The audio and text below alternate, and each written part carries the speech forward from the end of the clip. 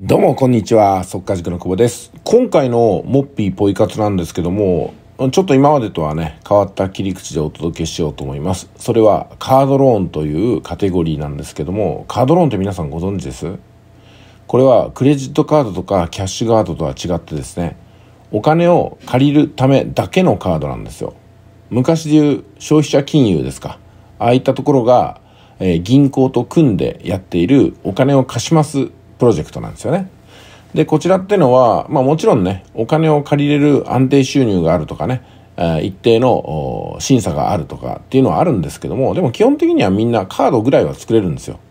ね。で、カードを作って別にお金を借りないといけないってことじゃないんですよ。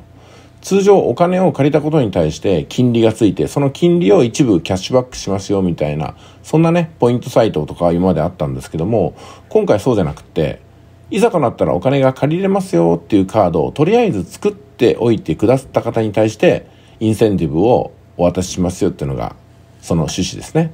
まあ、ですんで今左下に出てますけども楽天銀行のスーパーローンっていうねこのカードを作ったら9000円。アコムっていうカードを作ったら2000円。オリックスクレジットってカードを作ったら9000円みたいなのが並んでいてザーッとあるわけですよね。12個あると。これ全部合計したら10万6500円だと思います。まあ、もちろん一気に全部作る人ってあんまりないと思うんですけども、とりあえず1個作っとこうかなっていう中で、どうですかね？1万円とかね、そのあたりのやつを作ってもいいんじゃないかなと思いますんで、あこの滋賀県カードローンとかね、千葉銀行カードローンとかね、こういったなんか銀行系のとことかどうですかね？千葉銀行カードローンで1万5000円ですよね。はい、えー、新規カードローン申し込み後、カード発行完了。そして、千葉銀アプリインストール後60日以内の口座登録完了という、これだけですよね。だからカードを作って、アプリを登録、そして紐付けみたいな感じでしょ。お金を借りなさいってことはどこにも書いてませんから。いいんじゃないですか？はい。広告主から届いたメールや郵便物は、ポイントが承認となるまで大切にご保管くださいということなんで、これは簡単ですね。こんな感じです。はい。あ、ちなみに千葉銀行ですから、応募できる可能地区ってのが、千葉の近郊に限られてますね。